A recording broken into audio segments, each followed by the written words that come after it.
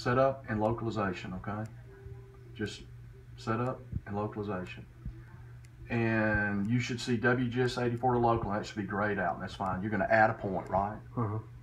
Your known point is gonna be the local coordinate that you've got in the, that the base is set up on, okay? Your, your measured point is gonna be that base two that you pulled in. Okay, so you, Okay. you know, so you choose that, so you'll have, known point will be the, you know, your local coordinate, measured point will be that base point. Don't measure, hit the check mark.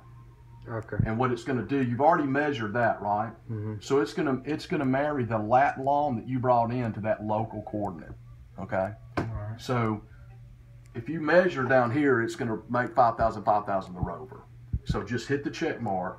And when you do, you're gonna see known point, measured point. You won't see any residuals because you've only got one point, okay? Right. But now, if you go to survey and topo, you know, I can't do it because it, you'll, you'll be 5,000. Everything can be relative to the base being 5,000,